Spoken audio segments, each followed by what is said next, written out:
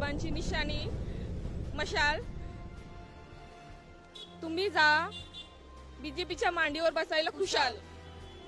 असं आम्हाला म्हणायचं आहे कारण आमच्या उद्धव साहेब झाले किंवा हे आपले आदित्य साहेब ठाकरे मंत्रिमंडळामध्ये बसले ना तर ह्यांना काय प्रॉब्लेम झाला? बंडखोरांना एवढे वर्ष मातोश्रीच्या घरामधला कोणच नव्हता ना आता हे खातात पितात ते दिसून येत नव्हतं. आता त्यांना दिसायला लागलं केली किती खाले घोटाळेबाजी केली तर त्यांना त्याचा प्रॉब्लेम झाला. अडीच अडीच वर्षामध्ये त्याला खाता गिलता आलं नसेल ना? त्यांना ते ह्याचा प्रॉब्लेम झालाय का? आता हे नको आहे कारण त्यांना दिसायला लागलं का किती खातात किती खातात? अरे किती किती खोटं बोलतात हे? ह्यांच्या इतकं खोटं आहे का कोण? हे अक्षरशः मांडीवर बसायला गेले जा ना खुशाल मांडीवर आता पण जाण. हिंदुत्व म्हणजे काय? तुम्ही रा पहाडेचा शपथविधी करता जे राष्ट्रवादी त्यांच्यासोबत त्यांच्यासोबत तुम्ही केलं ते चालतं. पण ते आम्ही केलेलं चालत नाही.